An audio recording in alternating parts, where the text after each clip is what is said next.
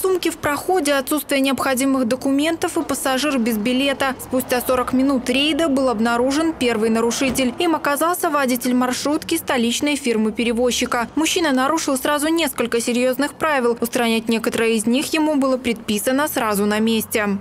Почему вы отключаете кассовый аппарат? Я не зарядка на телефон, сел телефон. Отсутствовал бэджик водителя, визитная карточка, что правилами пассажирских перевозок является нарушением. Также в данном транспортном средстве отсутствовал технический осмотр транспортного средства э, и был произведен провоз пассажира э, в возрасте 6 лет э, без билета. Большинство водителей, особенно с многолетним стажем, знают правила и нарушать их не планируют, ведь от этого зависит безопасность каждого пассажира. Началом поездки всегда предупреждаю, всегда пристегиваются. А какие пассажиры встречаются? Может быть, сложности с кем-то бывают? Нет, у нас все понятливо, у нас Кизель, у нас все хорошие пассажиры, адекватные все.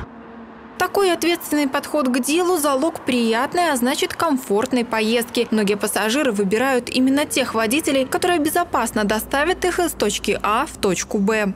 Я постоянно езжу. Эталон из этой постоянный водитель очень хороший. Я постоянно езжу. Поэтому уже на протяжении пяти лет. Вы сами часто пристегиваетесь? Насколько Постоянно, потому что я так часто езжу, знаете, сколько то кто-нибудь на дорогу выскочит, в смысле, сами знаете, то лосяс можно встретить, то кабанчика. Из восьми проверенных маршруток, которые направлялись из Гродно в другие города, в семи нарушений выявлено не было. Это говорит о том, что большинство водителей стараются выполнять свою работу правильно. С начала года на территории Гродненской области зарегистрировано два учетных дорожно-транспортных происшествий с участием маршрутных транспортных средств, в которых четыре человека получили ранения различной степени тяжести. Уважаемые участники дорожного движения, в особенности пассажиры, если вы стали свидетелем нарушений правил дорожного движения со стороны водителя маршрутного транспортного средства, сообщите о правонарушении в ГАИ.